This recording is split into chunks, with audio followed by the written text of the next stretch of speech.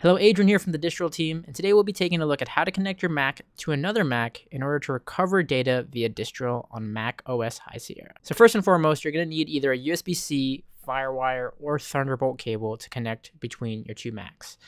Go ahead and make the connection between each Mac via the cable of your choice. Next, on the Mac that you want to recover data from, simply go into System Preferences, Startup Disk, and then from there, you're going to want to go in target disk mode.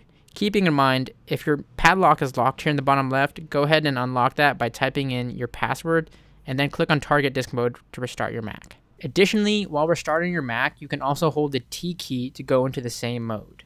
You'll get a logo confirming that you're in target disk mode.